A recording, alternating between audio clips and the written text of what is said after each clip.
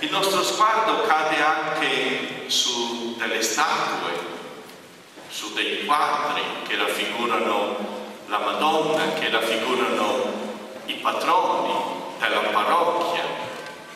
E guardando queste statue o questi quadri, noi eh, sappiamo che possiamo avere in cielo come intercessori la Vergine Maria, ma anche i santi protettori. Non solo, ma se queste statue sono lì è per incitarci a fare nostri i modelli di vita che questi santi hanno incarnato, le virtù che hanno realizzato nella loro vita.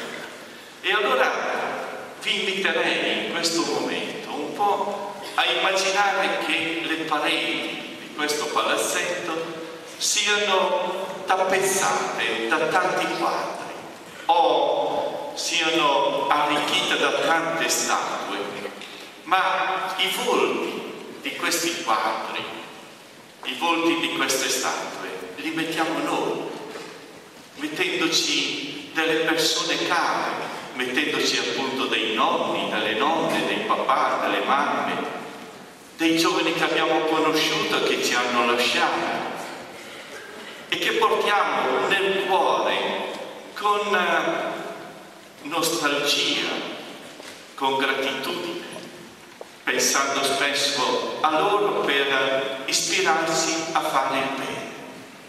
Sono i santi di casa nostra, sono i santi che oggi vogliamo onorare, che sentiamo presenti in questa Eucaristia Pensiamo a tutti gli scout che ci hanno preceduto, che sono stati ricordati all'inizio di questa messa. Li ricordiamo, ma non come persone assenti. Certo, sono invisibili a noi, ma la loro presenza è reale, intercedono per noi, presso il Signore, per il nostro cammino.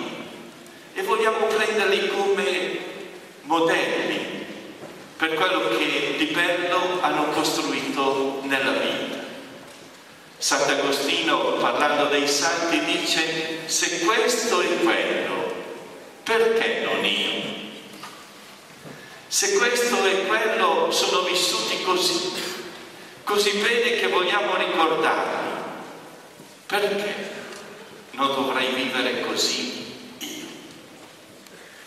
Il Vangelo ci dice che per vivere come Gesù, per vivere secondo quella vita di figli di Dio che ci ha donata con il battesimo, dobbiamo fare per le beatitudini la nostra carta d'identità, la nostra magna carta di, del Beato Frassati, Pier Giorgio Frassati. Si dice che si è scritto che è stato il giovane delle otto beatitudini. Ha vissuto quelle beatitudini che eh, sono state proclamate, ma questo potremmo dirlo di tutti i santi, vivere le beatitudini, perché le beatitudini sono state il programma di Gesù e se noi vogliamo amare Gesù dobbiamo fare nostro i suoi ideali. Le beatitudini non sono semplicemente la via per renderci felici, ma sono la via per costruire un'umanità bella. Sono atteggiamenti che risanano l'umanità. I santi che vivono le beatitudini sono i veri amici dell'umanità. Vivendo le beatitudini non costruiamo qualcosa di intimo che vale per noi stessi. Contributo migliore che noi diamo alla costruzione della società.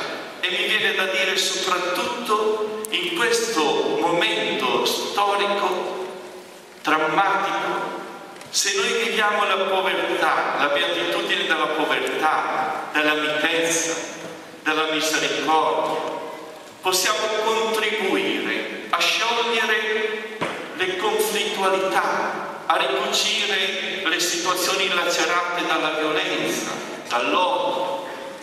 Se diventiamo operatori di pace, possiamo sconfiggere la violenza, anche la violenza verbale, con parole di bontà.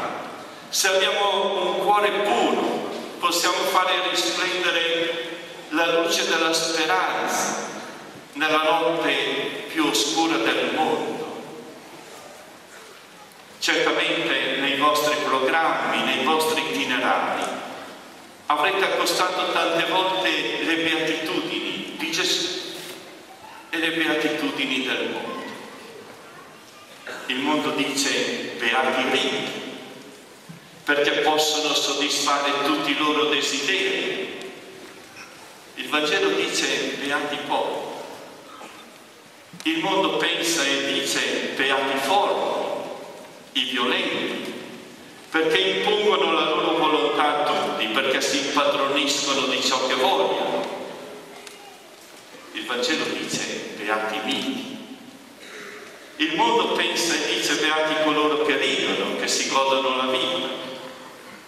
Cristo dice beati coloro che si affliggono, che si fanno carico dell'afflizione degli altri. Il contrasto non può essere più grande. Ma chi ha ragione allora? Cristo o il mondo? Per l'affetto che portiamo a Gesù, per il fascino che la sua persona esercita su di noi, noi diciamo ha ragione Cristo, però a volte è difficile capirlo. Ed è difficile capirlo perché non si tratta semplicemente di proclamare una verità, di aderire con la ragione a questa verità, ma di farla risplendere questa verità in noi, con i nostri pensieri, con le nostre azioni, con le nostre scelte quotidiane. Ed è proprio nelle scelte quotidiane che sperimentiamo che Gesù ha ragione. Vorrei illustrare semplicemente la prima delle beatitudini, lasciando a voi poi di approfondire le altre. Beati poveri di spirito, perché di essi è il regno dei cieli. Istintivamente noi vogliamo possedere, credendo di trovare così la felicità. Più ricchezze abbiamo, più cose abbiamo, più ci sentiamo soddisfatti. E quindi, e quindi felici, diciamo. In realtà, l'istinto di possedere ci porta alla nostra infelicità, perché ci rinchiude nel nostro egoismo. Inizialmente può essere vero, soddisfatti, perché soddisfatti, soddisfatti e quindi felici, ma il passo ad essere soddisfatti e angosciati è breve. Perché quando uno si sente soddisfatto delle cose che si chiude in se stesso, si chiude nel proprio egoismo e lo prende l'inquietudine. Ecco l'istinto di possesso che ci rinchiude nel nostro egoismo, ci separa dagli altri, ci oppone a loro. Pensiamo a quanti litigi, a quante dispute per ragioni di interesse, a quanti inquietudini avvelenano la vita. E allora alla fine l'uomo si trova insoddisfatto, perché l'uomo è chiamato al lavoro, è chiamato ad adorare se stesso, a realizzare la sua felicità nel fare della propria vita un dono di amore. Beati poveri in spirito. La povertà evangelica non consiste nel non avere niente, ma nel ricevere tutto, riconoscendo in ogni cosa un dono del Padre, un mezzo di unione con i fratelli. Non voglio essere in altre parole proprietario di quello che ho. Tutto quello che ho va restituito